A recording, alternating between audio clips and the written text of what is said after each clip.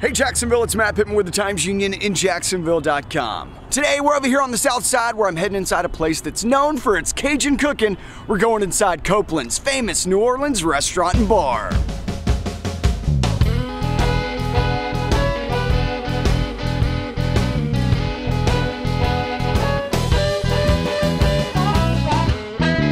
All right, we're inside. We're talking to Andrew. Tell me a little bit about Copeland's.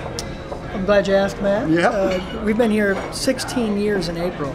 We do authentic New Orleans cuisine, like we say no one else in the city. We have a lot of uh, good, loyal clientele that we've built over the years because of the quality of our food. Uh, we do brunch buffet Saturday and Sunday, extremely popular. You got to mention, we're talking a restaurant, we got to mention happy hour.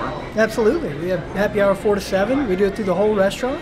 And uh, we also have a, a, lot of great weekend dining, uh, family lunch and dinner as well. What's cool too is if you love the food so much, you can come get the food catered to your next event. Oh, absolutely. We, we did multiple weddings last year, birthday parties, uh, you know, small pickups or full scale events for three, 400 people at your location. That's a big part of our business. Tell me a little bit about the taste of New Orleans here.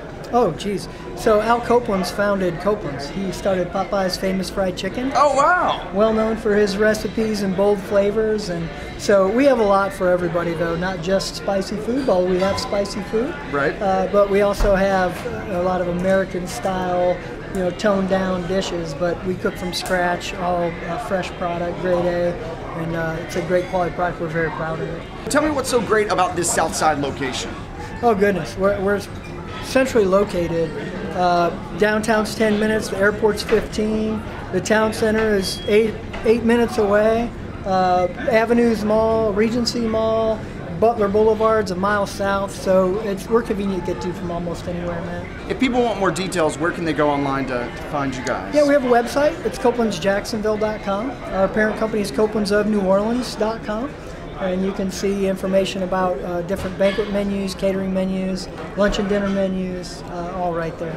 All right, well, I wanted to know more about the food, so we're in the kitchen of Copeland's, and I'm talking to the man, the head chef here, Bobo. All right, tell me about this food.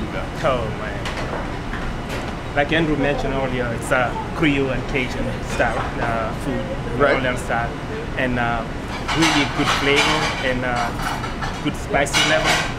This is one of my favorite dishes over here uh, the uh, how do you call it, the etouffee, the uh, crawfish etouffee. Uh, this is has a totally unique flavor. It has a garlic butter made with uh, our dark brew with a bunch of seasoning and spices. Uh, New Orleans is known with all the Cajun and Creole dishes, but this one is totally unique to Copeland's and uh, Copeland loved, he loved, this is one of the, the dishes he created since uh, uh, 1983. This was one of the original dishes. And uh, this dish, anybody that comes here for the first time, they want to eat uh, Cajun, I would def definitely recommend this dish. This dish.